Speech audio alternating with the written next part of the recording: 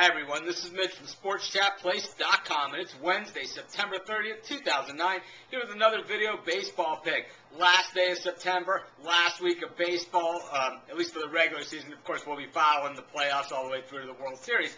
And, uh, you know, two of these teams, one of them will probably, you know, be at least in the postseason, and they're going to be hoping to make the World Series, but I'm not quite sure either of them are quite that caliber. Of course, we're talking about the American League Central. We're talking about the Detroit Tigers and the Minnesota Twins. The Tigers are at home for this one.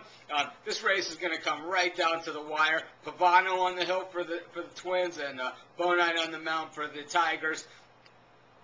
This division is still up for grabs. It can go either way. Pavano is the slight favorite here at minus 120 on the road. So you know what? At two even teams, we're going to go where the value is, and that's with the Detroit Tigers, the team that's in the lead in the American League Central. We're getting even money on the Tigers in this one. So you know what? We're going to jump on it.